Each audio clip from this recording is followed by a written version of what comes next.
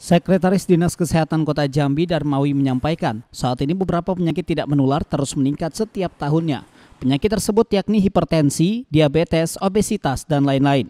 Dikatakannya untuk penderita penyakit hipertensi tahun 2018 sebanyak 13.015. Data ini meningkat di Juni 2019 sebanyak 13.953 orang.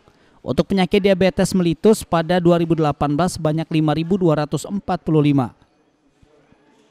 Hingga Juni 2019 ada 4.646 penderita.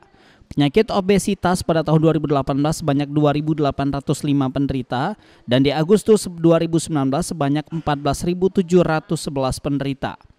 Tidak hanya usia tua yang terkena penyakit tidak menular, namun juga banyak dialami usia muda.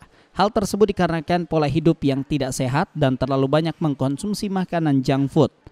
Jika dibandingkan di usia 30 hingga 40 tahun, sudah sekitar 35 persen terkena penyakit tidak menular. 65 persen ini berada di usia 40 tahun ke atas. Oh, yang tidak menular. Satu stroke. Stroke ya. Stroke, yaitu disebut dengan jantung, itu yang paling banyak. Kemudian diabetes, itu yang paling kategori masuk dalam 10 besar.